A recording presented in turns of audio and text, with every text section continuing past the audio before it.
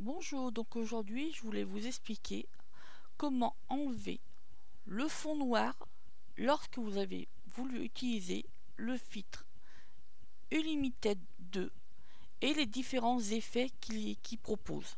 Donc ça peut être dans Edge Round, Edge Square ou euh, Distortion Filter.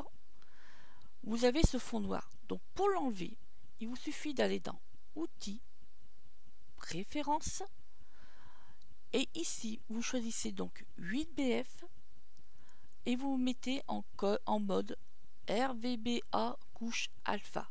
Ça veut dire que ça sera automatiquement en euh, transparence quand vous demandez un fond transparent.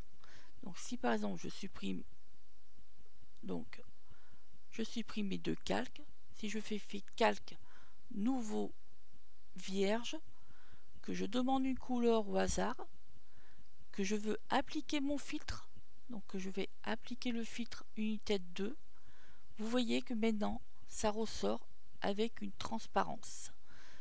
Donc si je fais appli, vous voyez que ça va sortir avec de la transparence.